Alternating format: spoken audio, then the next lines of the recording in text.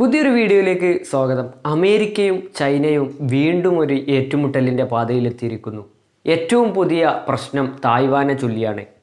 അമേരിക്കയുടെ ജനപ്രതിനിധി സഭയുടെ സ്പീക്കറായിട്ടുള്ള നാൻസി പെലോസി അദ്ദേഹത്തിന്റെ ഏഷ്യ സന്ദർശനത്തിന്റെ ഭാഗമായി മലേഷ്യ സന്ദർശിച്ച ശേഷം തായ്വാൻ സന്ദർശിച്ചതാണ് ചൈനയെ പ്രകോപിപ്പിച്ചിട്ടുള്ളത്. ചൈന ഓൾറെഡി അമേരിക്കക്ക് മുൻ മുന്നറിയിപ്പ് കൊടുത്തിരുന്നു നാൻസി പെലോസി തായ്വാൻ സന്ദർശിക്കരുത് എന്ന് പറഞ്ഞ്. ഇരുപത്തിയഞ്ച് വർഷത്തിന് ശേഷമാണ് ഒരു അമേരിക്കൻ പ്രതിനിധി തായ്വാൻ സന്ദർശിക്കുന്നത്. എന്താണ് ചൈനയെ എത്രത്തോളം പ്രകോപിപ്പിച്ചത് എന്നുള്ളതെല്ലാം നമുക്ക് നോക്കാം. ചൈനയെ പ്രകോപിപ്പിക്കാനുള്ള കാരണം തായ്വാനെ ഒരിക്കലും ചൈന ഒരു രാജ്യമായി അംഗീകരിച്ചിട്ടില്ല എന്നുള്ളതാണ്. ചൈന പറയുന്നത് തായ്വാൻ ചൈനയുടെ ഒരു പ്രവിശ്യയാണ് മക്കാവും അതുപോലെ തന്നെ ഹോങ്കോങ്ങും എല്ലാം പോലെ. ചൈനയുടെ ഒരു പ്രവിശ്യയാണ് തായ്വാൻ എന്നുള്ളതാണ് ചൈനീസ് വാദം. എന്നാൽ തായ്വാനീസ് ജനതയും തായ്വാൻകാരും വർഷങ്ങളായി പറയുന്നത് തായ്വാൻ എന്നുള്ളത് ചൈനയുമായി യാതൊരു ബന്ധവുമില്ല എന്നുള്ളതാണ്. എന്താണ് ഇങ്ങനെ ചൈനയും തായ്വാനും തമ്മിലുള്ള പ്രശ്നത്തിന് കാരണം? നമുക്ക് ചരിത്രം ഒന്ന് നോക്കാം.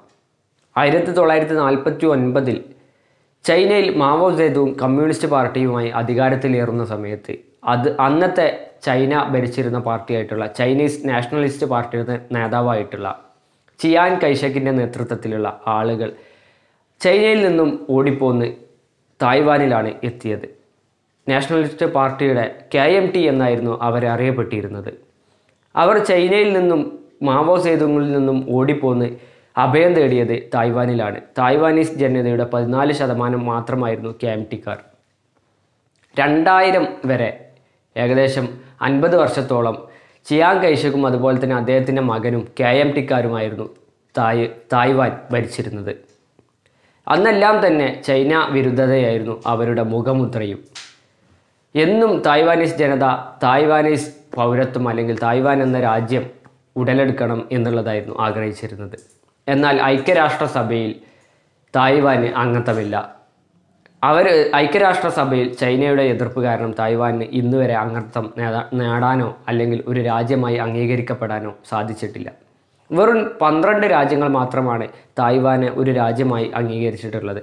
ഹോണ്ടറാസും നിക്കാരാഗയും പോലെയുള്ള രാജ്യങ്ങൾ മാത്രമാണ് ഇങ്ങനെ അംഗീകരിച്ച രാജ്യങ്ങൾ. ഇതെല്ലാം തന്നെയാണ് തായ്വാൻ ചൈനീസ് പ്രശ്നത്തിന്റെ ഒരു ബാക്ക്ഗ്രൗണ്ട് എന്ന് പറയുന്നത്.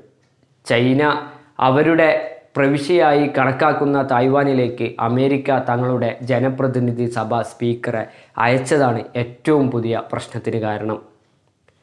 മാത്രമല്ല ഏറ്റവും പുറത്തു വരുന്ന ഏറ്റവും പ്രധാനപ്പെട്ട വാർത്തകൾ അനുസരിച്ച് ചൈനീസ് പോർ വിമാനങ്ങൾ തായ്വാൻ ലക്ഷ്യമാക്കി വട്ടമിട്ട് പറക്കുകയാണെന്നും അമേരിക്കൻ യുദ്ധക്കപ്പലുകൾ തായ്വാൻ കടലിടുക്കിൽ തായ്വാന് സംരക്ഷണമേകി നിലനിൽക്കുന്നുണ്ട് എന്നൊക്കെയാണ് പുറത്തു വരുന്ന വാർത്തകൾ.